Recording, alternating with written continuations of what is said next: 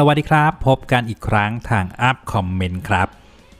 ก็ยังคงมีควันหลงอยู่นะครับสำหรับการเปิดให้บริการรถไฟฟ้าสายแรกของเวียดนามในกรุงฮานอยนะครับ ซึ่งก็เป็นประเด็นที่ค่อนข้างสลับซับซ้อนในความสัมพันธ์นะครับ ระหว่างเพื่อนบ้านอินโดจีน ลาวเวียดนามกัมพูชากับประเทศจีน ซึ่งอย่างที่เพื่อนๆทราบกันดีนะครับ ประเทศลาวและประเทศจีนได้มีความร่วมมือกันในโครงการรถไฟลาวจีนนะครับ รวมถึงรถไฟฟ้าสายแรกของเวียดนามเส้นนี้นะครับ ก็ได้รับความช่วยเหลือทางด้านเงินกู้จากธนาคาร ADB นะครับ ธนาคารเพื่อการพัฒนาเอเชีย ซึ่งเป็นของประเทศจีน ซึ่งนั่นก็เป็นประเด็นที่ชาวกัมพูชาได้มีการถกเถียงกันนะครับ เพราะนอกเหนือจากสนามกีฬามรดกเตโชนะครับ ที่ทางการจีนได้สร้างให้กับกัมพูชารวมถึงการลงทุนของจีนในเมืองสีฮานูวิลนะครับ แต่ว่ายังไม่มีโครงการโครงสร้างพื้นฐานทางด้านทางรางนะครับ ที่จีนสนับสนุนเหมือนกับประเทศลาวแล้วก็ประเทศเวียดนาม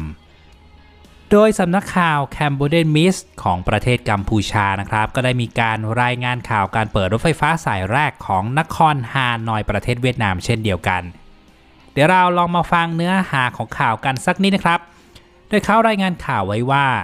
เส้นทางรถไฟฟ้าของเวียดนาม ตั้งอยู่ในนครฮานอย ได้มีการเปิดให้บริการเชิงพาณิชย์เมื่อสุดสัปดาห์ที่ผ่านมา หลังจากที่ใช้เวลาก่อสร้าง 10 ปี รถไฟสายนี้มีระยะทาง 13 กิโลเมตร และใช้จ่ายในการก่อสร้าง 870 ล้านดอลลาร์สหรัฐ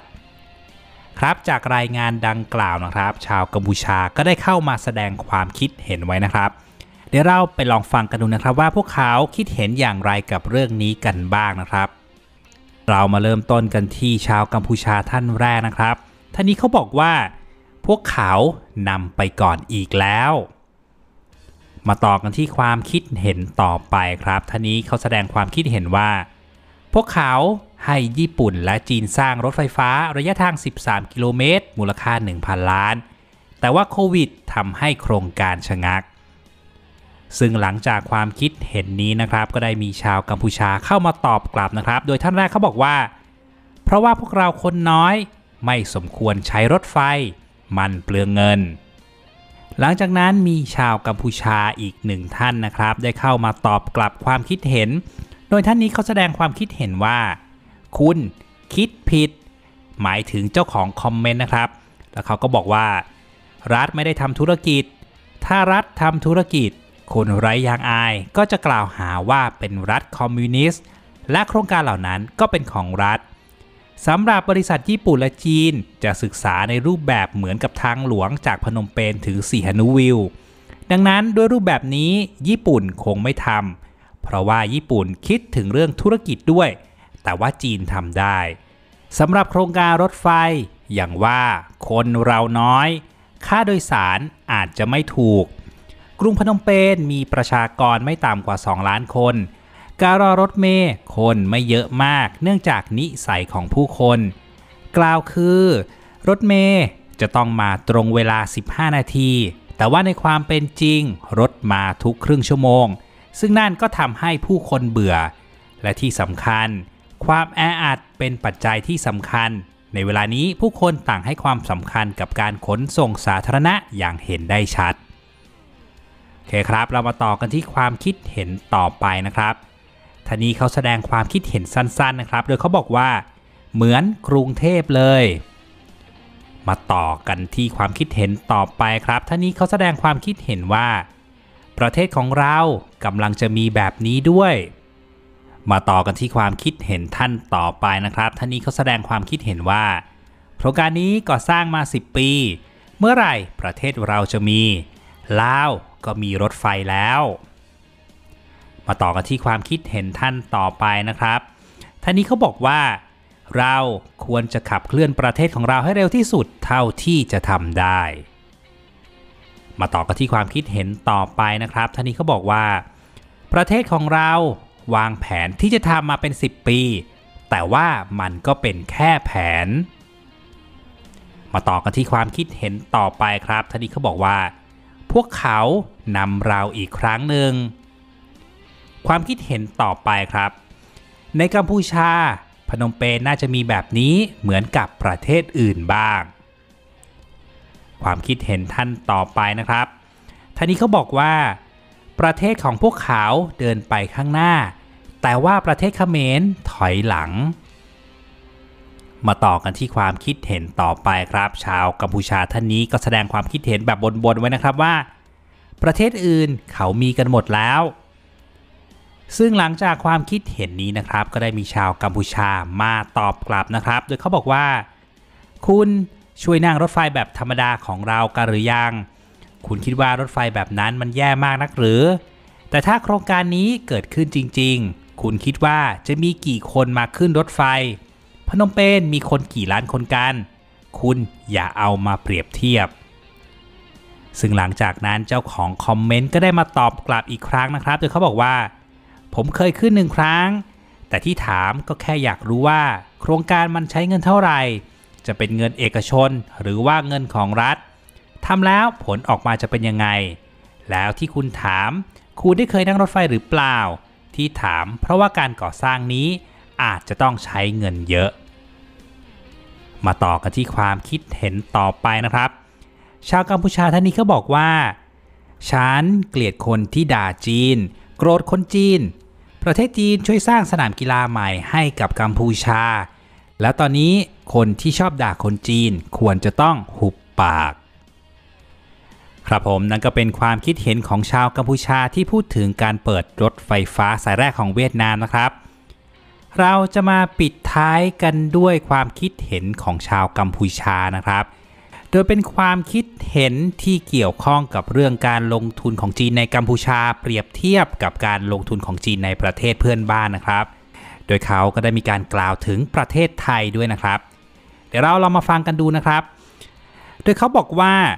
เพื่อนบ้านของเราอย่างประเทศไทย มีโครงการจีนหลายสิบโครงการ ได้แก่โรงงานถ่านหิน โครงการรถไฟความเร็วสูง เขตอุตสาหกรรมภายใต้การลงทุนของจีน และช่วยเหลือโดยที่ไม่มีใครหัวเราะขณะประเทศลาว โครงการรถไฟของพวกเขายังไม่ถูกวิจารณ์เท่ากับกัมพูชาเลย ขณะที่กัมพูชาเป็นโครงการเล็กๆของจีน เมื่อเทียบกับโครงการหลายพันล้านดอลลาร์ในเส้นทางรถไฟ ชาวเขมรทำอะไรก็ผิด ไม่ใช่แค่ชาวต่างชาติเท่านั้น แม้แต่ชาวกัมพูชาเองก็ยังวิพากษ์วิจารณ์โครงการพัฒนาประเทศในกัมพูชา กัมพูชาทำอะไรก็ผิดหมด ไม่เหมือนกับไทยหรือว่าเวียดนาม แต่ที่พูดเรื่องนี้ไม่ได้หมายความว่าจะให้เลิกวิจารณ์ แต่ขอให้วิจารณ์ในมุมมองที่ดีสำหรับการพัฒนาประเทศของเรา โครงการใหญ่ ๆ ของจีนในเวียดนามและไทยได้รับการยกย่อง แม้ว่าโครงการเหล่านั้นจะยืมเงินจากรัฐบาลจีนก็ตาม แต่ว่าการวิพากษ์วิจารณ์จากชาวต่างชาตินั้นก็ไม่ใช่เรื่องผิด ประเทศของเขาก็คือประเทศของเขา ประเทศของเราก็คือประเทศของเรา ในฐานะพลเมืองของประเทศหนึ่ง เราควรจะพัฒนาตัวเองให้ดีที่สุด ไม่ต้องสนใจคนรอบข้าง ขอให้อยู่ในกรอบของความเป็นพลเมืองดี ประชาชนทั่วประเทศก็เหมือนกัน มีขนาดสมองเท่าๆกัน สิ่งสำคัญคือพัฒนาตนเองและสังคมอยู่เสมอ เราไม่สามารถทำในสิ่งที่บรรพบุรุษของเราทำได้ในวันนี้ IQ ของเราชาวเขมรไม่แพ้ชาติใดในโลก แม้แต่ประเทศอิสราเอลที่เรายกย่อง เราก็ไม่ได้แพ้เขาทางด้าน IQ ตราบใด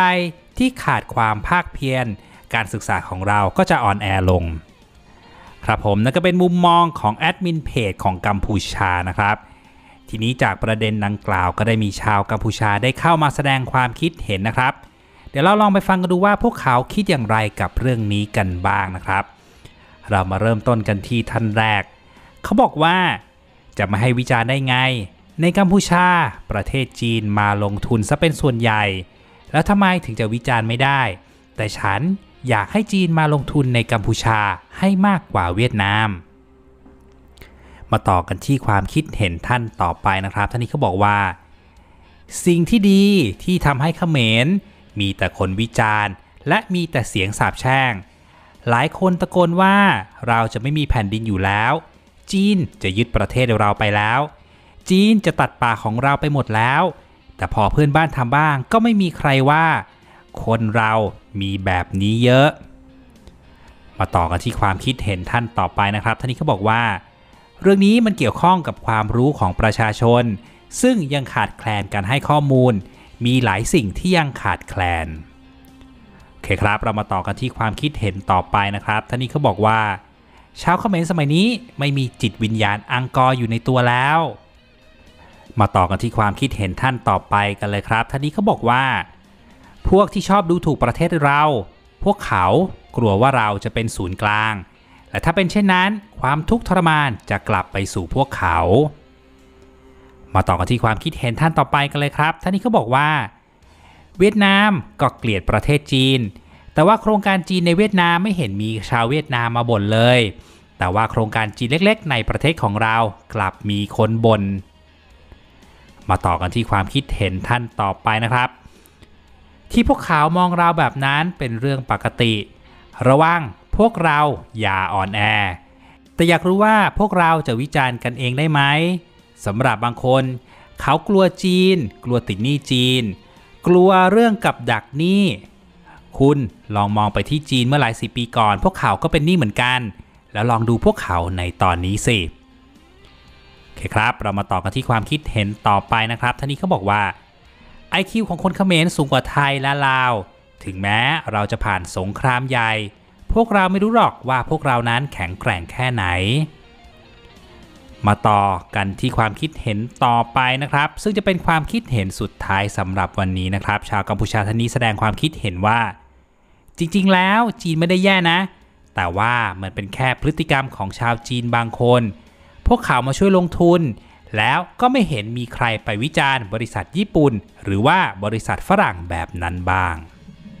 ครับผมนั่นก็คือเรื่องราวทั้งหมดในวันนี้นะครับ เพื่อนๆฟังแล้วมีความคิดเห็นอย่างไรกันบ้าง อย่าลืมเขียนไว้ในช่องคอมเมนต์เพื่อพูดคุยและแลกเปลี่ยนความคิดเห็นกันนะครับ